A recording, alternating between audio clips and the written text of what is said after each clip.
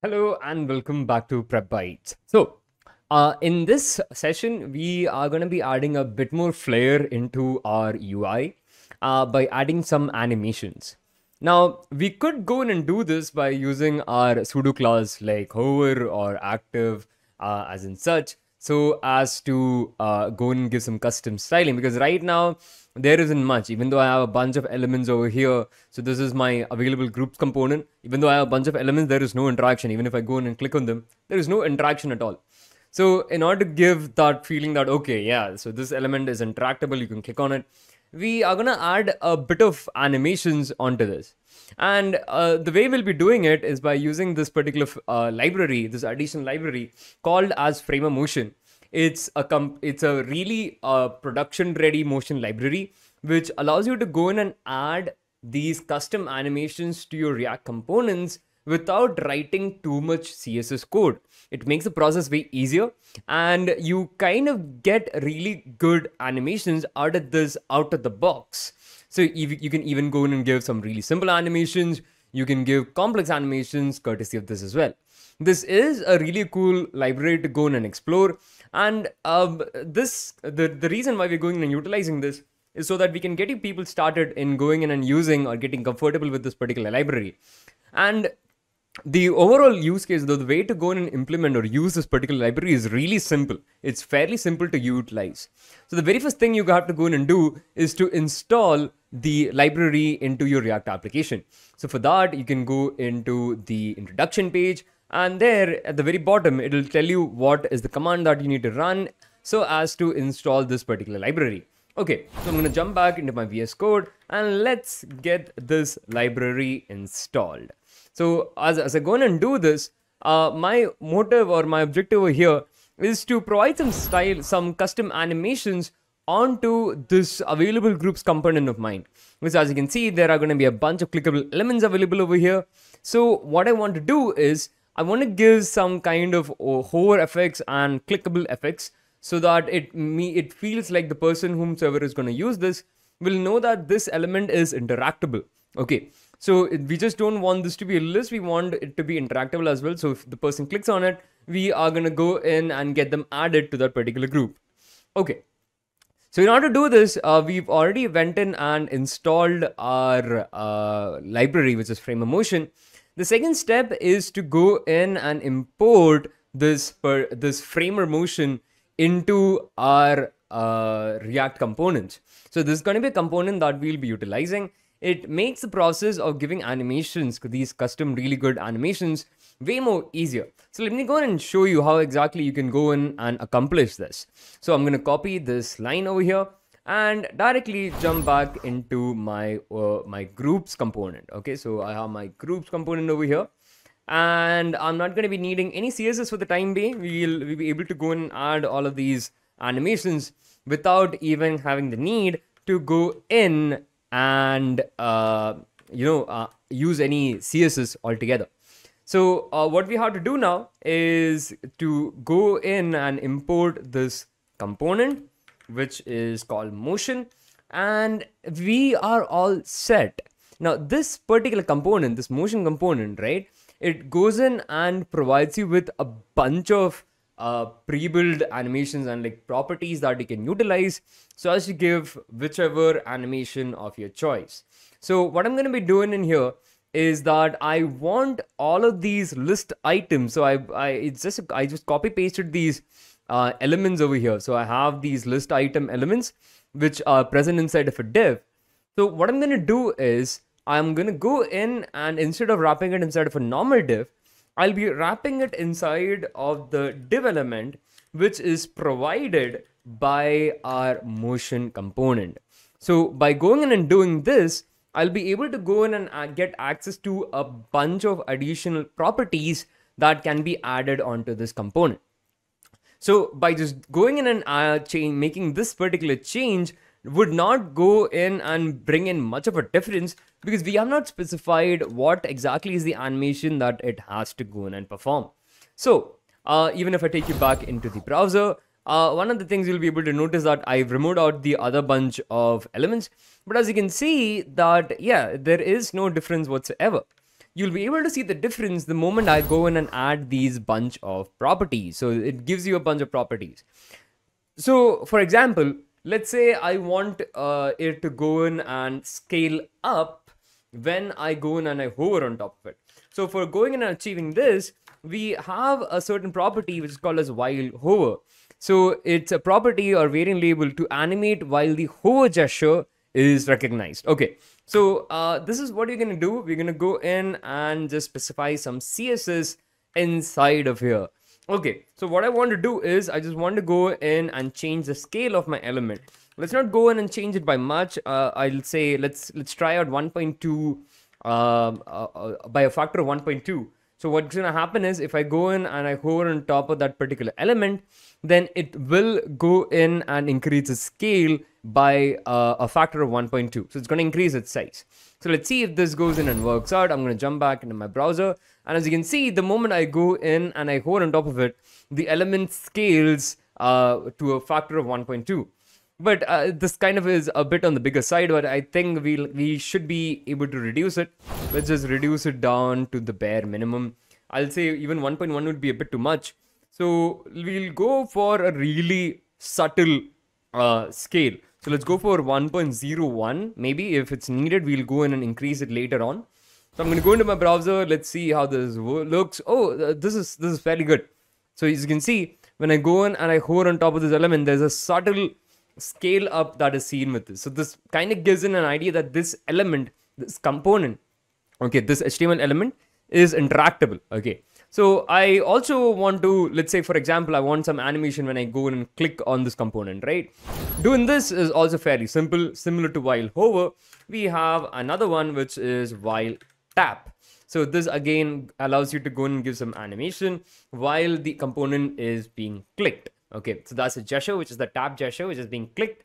So I can go in and say, in this scenario, I will go in and change the scale to, let's say, 0.98. Okay, so it's going to reduce. It's going to reduce just by a really small amount, but it will be noticeable altogether.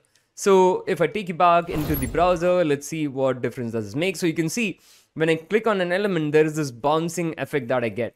So you won't be able to get this kind of transition by just bare CSS styles alone. You'll have to go in and dish out lots of lines of CSS to be able to go in and get this amount of springy animation.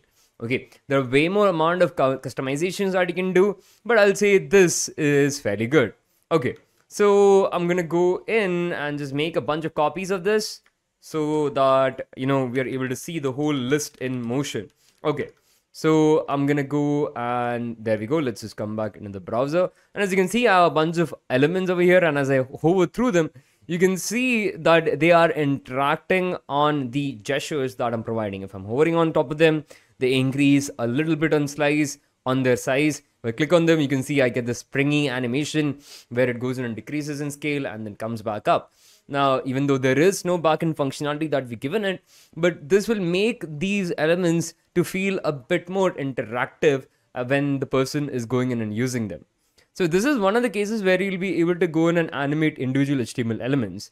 But what if I want to go in and animate how exactly are these elements going to go in and enter or exit from my React component?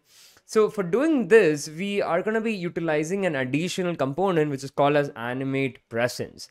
This is an additional component which is given to us and it helps as the name suggests it allows you to go in and animate components when they're removed from the React tree. So implementing this is also fairly simple. So what I'm going to do is I'm going to take both of these components of mine, which is the uh, uh, you know the available groups and the online users component. And let's just give a really subtle transition animation to both of them. Okay so i'm going to jump back into my vs code and let's get both of them opened up. Okay so i'm going to go in and start this process on with my uh, group component. And the very first thing i'll do is to get access to my animate presence let's just go in and get it here so it's animate present. So this is the component we're going to need. As you can see, I'm importing it again from the Framer Motion library. And what we'll have to do is to take the entire container for the uh, for whatever we have created, which is for displaying the available set of groups. I'm gonna take the whole thing, all right, and just put it or nest it inside of this animate presence element. Okay, so in, I, I have an animate presence component here. So I'm gonna go in and nest it or, you know, uh, uh, basically just go in and throw all of them inside of the animate presence component. All right.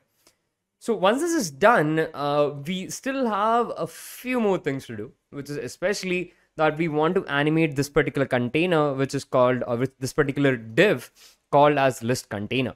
So even if I go in and take you back into my browser, you'll be able to notice that the element, the HTML element that we're trying to animate is an HTML element called as list container. It's the same element, right? Okay.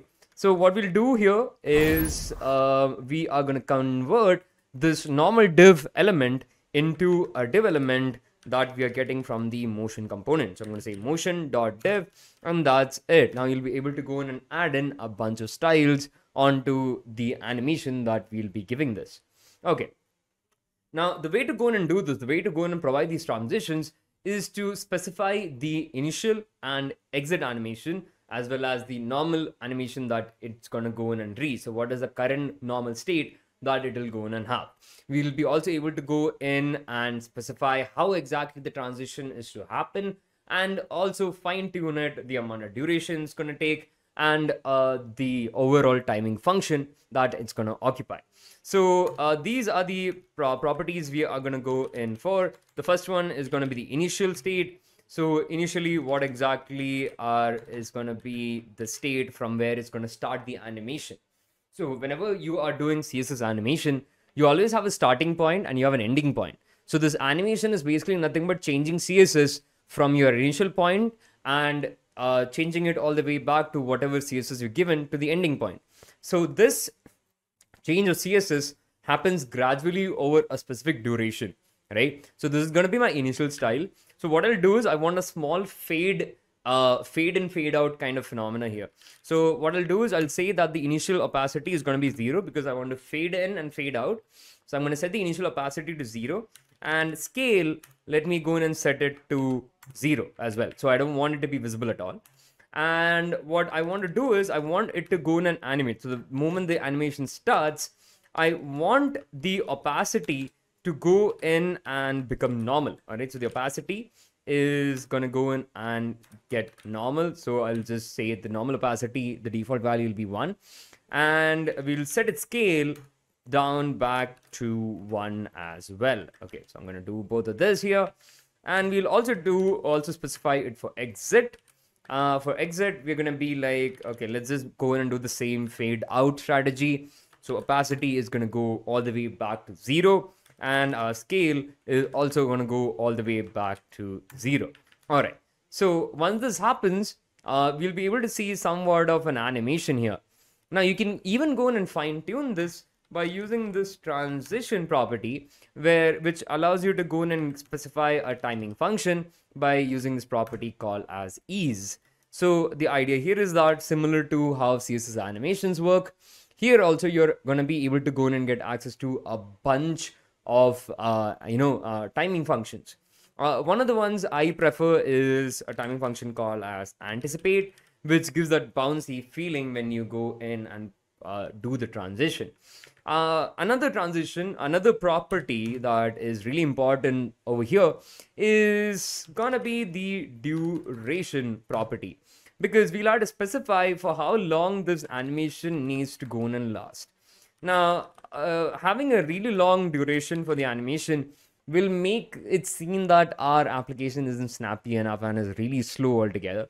So you want to keep the animations to be really on a short time frame. So you want it to happen really quickly, right? So uh, maybe I'll go in and specify this as uh, 0. Point, uh, let's just say 0 0.3, uh, you know, 0 0.3 seconds. Okay, so I'm going to specify the value over here as 0 0.3 and uh, let's see what difference does this make okay so what we want to do is we want to get this subtle transition across these components of ours okay so i'm going to jump back into my browser okay and as you can see i have the animations that i given it already and now if i jump back into available groups you can see we have this subtle animation all right so it's this fade in, fade out kind of animation.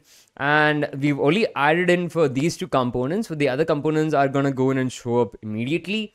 But for these set of two components, you can see we have a really subtle animation, even though it's not too much it kind of goes in and gives it that added flair to it. You can play around with these animations. You can give some even more modular and simple animations so that you can uh, go in and work around with these transitions. Okay, so this is kind of the whole part of using uh, Framer Motion. Even though we have only touched the tip of the iceberg here with that of Framer Motion, starting or getting started with Framer Motion is a really simple thing to do because ultimately all you're going to do is to utilize this motion component and give it some additional bunch of properties so that you can get whichever animation you want. So there is a bunch of things that you can go in and explore uh, from the documentation for Framer Motion. And I would highly suggest that you go in and do so because this is one of the libraries which can make the process of giving animations way easier as compared to going in and using bare bones css okay. So I, will uh, i'll leave this with you people altogether. Uh, i'll suggest that you go in and you try things out try to play around with these properties that are accessible over here. Go with the documentation get through with it and try to go in and give some really cool animations to your application so that it feels really interactive. So that will be all for this particular video. Starting in from the next session we are going to be starting with our backend. We'll be going and creating our server, our database, we'll be integrating it. And I'll be also briefing you on how exactly do we intend to do this. So that will be all for this particular video. See you in the next one.